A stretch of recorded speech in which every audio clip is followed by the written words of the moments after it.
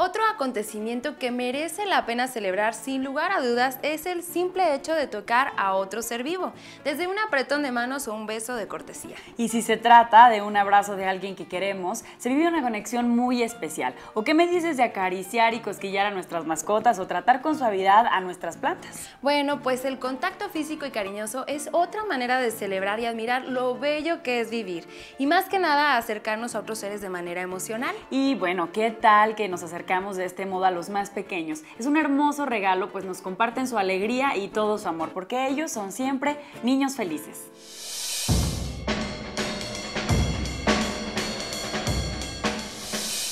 Seguramente a usted le platican que la abuela hacía pan de horno, que cocinaba pasteles y hacía los mejores postres. ¿Y esas tradiciones las vamos a enterrar? Solo si usted y yo nos ponemos las pilas y hacemos de la cocina un lugar de grandes experiencias para los niños. Hoy que están de vacaciones, queremos sugerir algunos platillos muy sencillos que nos van a ayudar a convivir y saborear lo que se hace en equipo. Elaborar diferentes tipos de gelatinas siempre será una buena opción. Con los niños, los colores y el sabor son una experiencia atractiva. Elaborar algún alimento incluye valores como elegir bien, tener paciencia para esperar su preparación completa, limpiar después de haber cocinado y trabajar en equipo. La gelatina presenta opciones, además de ocupar moldes, elegir recetas para diferente consistencia como espumosa, tipo nieve o haciendo gomitas con azúcar. Internet nos proporciona una infinidad de recetas que nos pueden dar idea de qué hacer y qué pasos seguir.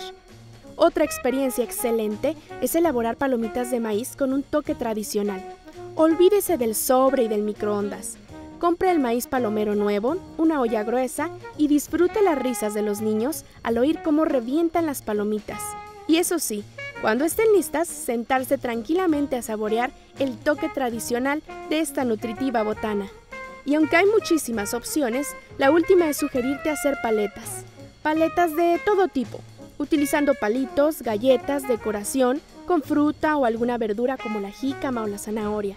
Hacer paletas de hielo en el congelador, utilizar sobre todo fruta y sabores naturales, paletas de postre con bombones y gomitas. La variedad de nuestra diversión está dentro de tu mente. Solo necesitas los dos principales ingredientes, las ganas de hacerlo y el tiempo para compartir.